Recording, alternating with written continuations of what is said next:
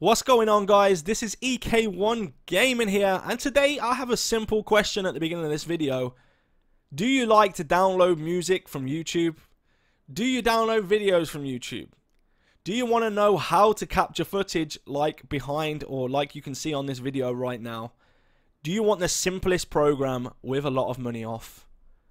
Then follow the video. Keep watching this video. We're going to show you exactly what we use to capture the video footage, to kind of do some minor edits, not full edits, and also to download our music and stuff like that from YouTube.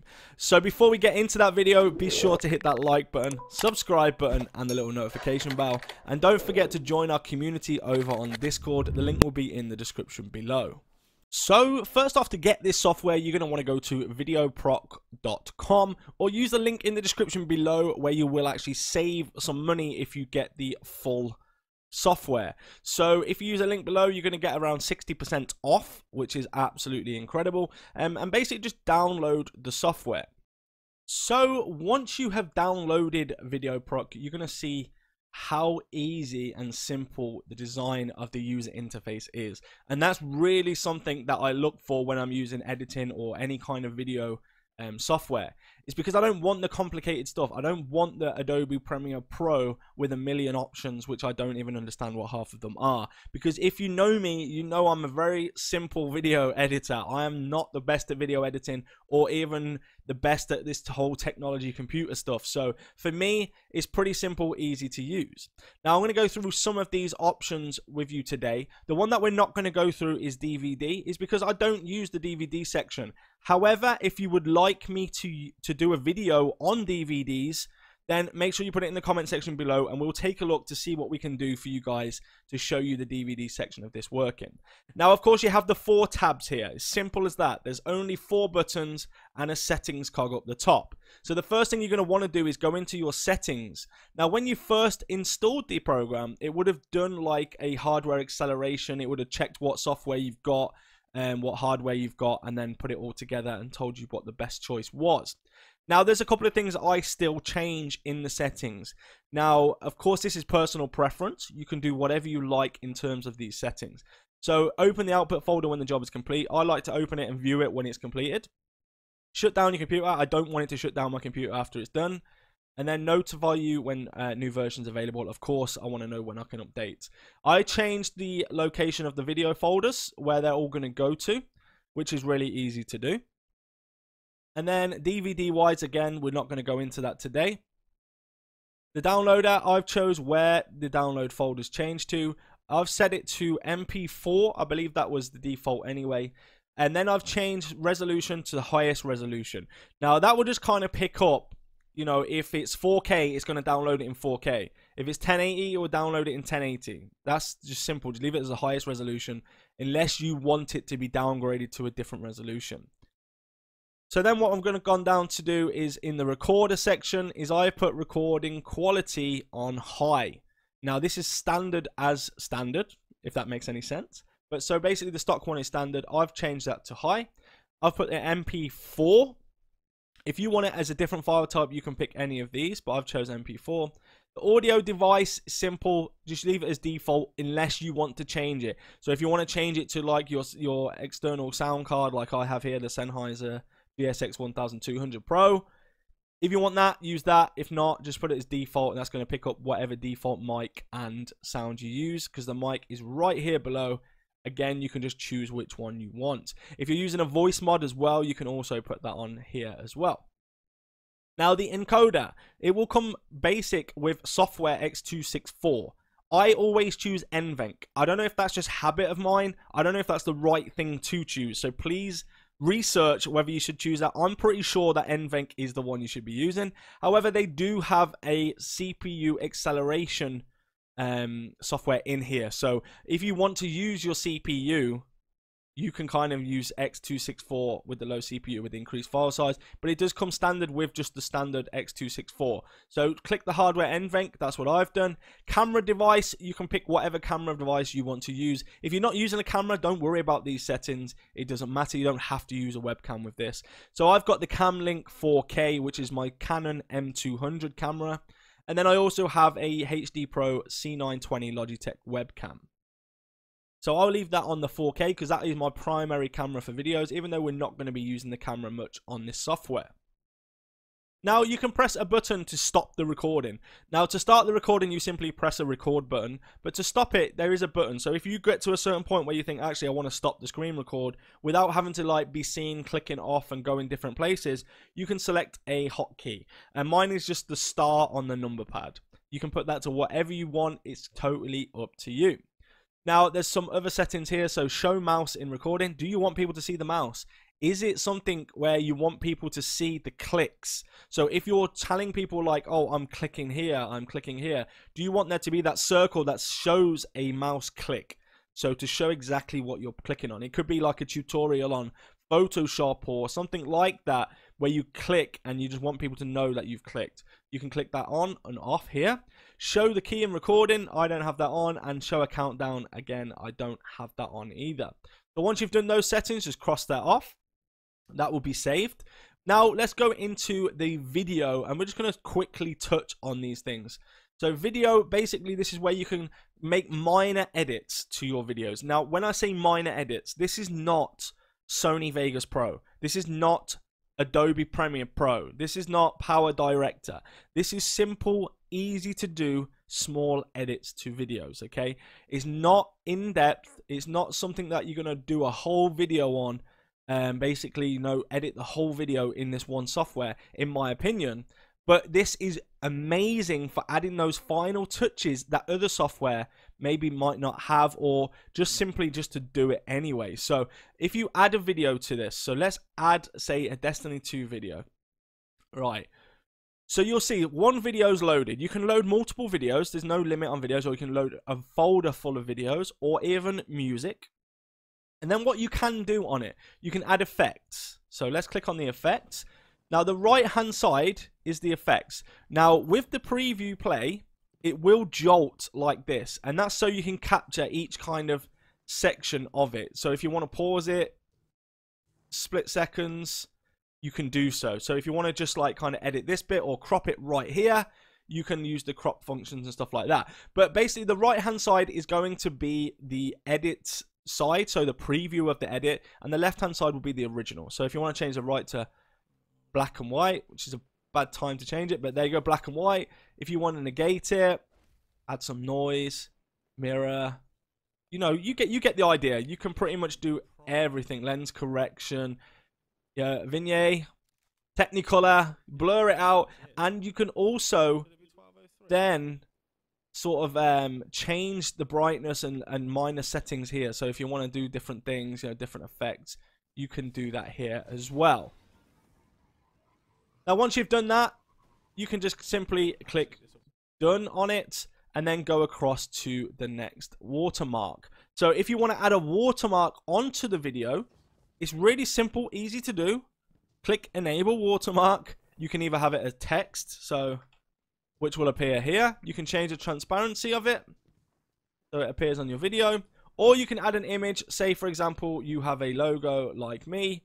And say you want that right in the middle. But you want it like in the background like this so someone can't steal. I don't know how you're going to want it. You're probably just going to want it in the corner. Just so people don't steal your actual content. So when that's done, click done. You can then cut the video, crop the video, rotate it which is is pretty cool. If you want to rotate, you know, you want to have your video upside down. I don't know why you'd want to do that, but for example, you could do anything like that. You could flip it horizontal, flip it vertical, and do all that kind of cool, good stuff. So when that's done, again, click it. You can then add something called subtitles, which I don't never use, and I kind of get a bit of uh, backlash from not using subtitles because really I don't have time to write the subtitles out, etc. But you can write them out and download them and drop them in here, and it will subtitle the video for you. And crop is simple. You know, you can just crop the screen. So if you want to crop something, just crop it. You know, just enable crop. You know, and then crop the screen. Simple as that. Really easy to do. And cut is just basically cut or or clip the video. You know, you just clip in the video. So if you want a short part of the video instead, you can just click that and click done. Really simple, easy to use. And the next bit is even better. And this is how you pick your format, your target format. So there's a popular section here. So if you want the video to format in 4K, you can just click this one and it will set all the settings for you for 4K. MP4, iPhone, Android, MP4 again, and 4K again. Now, what you can do here is basically have a look and see which one is the hardware accelerated one, which is what I use. So supports hardware accelerated. So use one of those, okay? This is going to be an MP4 file in 4K. But if, say, for example, you're looking at, I don't know, you want it on Twitter or something like that, you might want to pick a different kind of file type, etc. Or if you want it on a different device, so say, for example, this is an iPad uh, video, you're going to do it for work and people have iPads, you can click iPad here and it will optimize it for iPad, Android, um, Samsung, PS4, Xbox, you know, um, MI phones, which I've just actually bought one of these phones, which is really, really cool. And um, all different kind of uh, functions here. The music, you can also pick MP3 or whatever you want it as. You just, just choose whatever you want it. And then there's some other little things you can do. You can merge all the video clips into one video. So if you've got multiple, it will merge them all into one for you. You can trim, split, rotate, mirror flip, make GIFs, which is absolutely amazing. So we're going to be playing around with the GIFs uh, soon because I've got some cool little ideas for GIFs. Um, you can de-shake on a GoPro and de-noise the, the GoPro as well. Um, you can make it 3D to 2D, fisheye, you know, you, loads of stuff here. You guys can play around with that. But basically, that that concludes the video, and then you just basically click run, and it will run it for you. So now going into the um, downloader. Now the downloader to me is one of the most used things that I that I do, or one of the most things that I use the most. It's simple. You basically find. So click. Say I want some music. So add music. You basically find it on YouTube. So a YouTube link like this one. Click analyze. It will analyze the link for you to find what quality of this you can get. So I just picked a free copyright safe music and this is perfect for content creators or somebody that's looking at getting some music that they can use that's not just a basic YouTube library. Go on YouTube, search for content uh, which is copyright free, safe music, and then basically download the MP3 file. So you can choose here if you want the bitrate 128, you can. You know, MP3 so I always go for MP3. I don't know what you guys want to go for, but I always pick MP3. But there's all different kind of options. When you picked it, just simply click download selected videos. Now, bear in mind, you can download loads here. You can put loads here, right? You can just keep analyzing different ones. You can download full playlists. You can search for the subtitles if you want. I don't know why you want to do that. But basically, download selected videos. Then click download now. And look how fast this actually does it. It really, there you go, 1 to 99 straight away. Within a matter of seconds, you have that music. So once that, there we go. So you've got the music now, which is here. You can then double click it and it will play. And the sound quality coming out of that is incredible. It's literally not uh, distorted. It's not like it's been recorded. It's really, really good. So you can do that as much as you want. Now you can also do that with video. So say, for example, I wanted to download the video to that. So let's uh, take this off, click that, click analyze, and it's the same link I've just used. For example, maybe you found a you might have found one of my videos where you think, actually, I want to watch that later. Let me quickly download it onto my computer. You can do that, download it, and then choose what quality you want it. If you want a lower file size, obviously go 720. If you want the actual size of the video, go, you know, 1080, which my videos are all 1080. Click it, download selected videos, and then click download now. Now, this will take a little bit longer because the file sizes are quite big.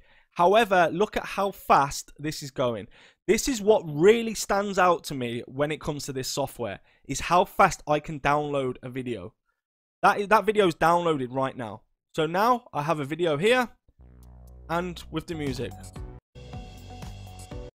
and it didn't lose any quality. It literally is what it is. It's absolutely incredible. This is what I use for all of my music on my phone. This is what I use to download any videos. Like if I'm clipping state of the games and stuff like that, I'll clip some from using this from the downloader. It's really simple, easy to use and you know i don't even know what else you could you could have instead of this program to do that there is like youtube downloaders but i find them to be very complicated some of them you get a limit on the amount of downloads here is all unlimited as well Now the video recorder. This is the one. So video recorder is going to be like your screen capture kind of recording videos, recording footage, etc. Now you can do this with your screen, which will be the screen here. So let's cross off that. So you'll see the screen that we've got up here. If you've got multiple monitors like me, I've got three monitors. So monitor 2 is over to the right, monitor 3 to my left. Obviously they have nothing on them. But this is my main monitor so if I wanted to record this if I had a game open etc or you could drag this over to another monitor um you could drag it to the second monitor and record the first monitor so this is not in the way etc you can also do it with webcam and you can do it with screen and webcam where it will put you in the actual video as well which is good if you want to do some like um, commentary where you're actually visible on the video. Now for me I'll select number one for example go ahead and choose where you want your folder or where you want your videos to be saved to. That's really important. So make sure you can find the videos after you've done them. I keep all mine in one place, even if I record them on different software like GeForce Experience or something like that. I'll always have them going into the same folder in the same, you know, for the same games basically. So if I know I'm recording Destiny, I'll put that as Destiny. So it goes into a Destiny folder and then I can keep track of what I've got. And it's really simple, easy to do. Pick your default or you pick your sound settings or whatever you want to do. Again, they're already uh, selected when we did the settings earlier as default. If you selected something else earlier, just make sure that they are selected. They will be, but just make sure, double check. The last thing you want to do is record a whole video with no sound. So you can also crop the image right here before you do it, or crop the screen, should I say, here, which is simple, easy to do. So you can just press escape when you've cropped. If you just want to record a, a small section of the um of the screen, you can literally just say, I want to record this, okay? And then it will just kind of record that section once you do it. Now, to just just record is simple. Just press record, okay? And I also set the hotkey, which we mentioned earlier, which was the star to stop the recording. So it's really easy, simple to do make sure if you are interested in downloading this software use that link below. That's not a link where i get any kind of money or anything like that from but you're going to save 60% off the software if you get the full software. So go ahead give it a try. Make sure you let me know in the comment section below what you think of the software. Even if it's just for that downloader I think this software is really a must have on most people's PCs. You know, any kind of content creators or any music enthusiasts, video enthusiasts, should have this software. Make sure you hit the like button, the subscribe button, and I will see you all next time. Let's go!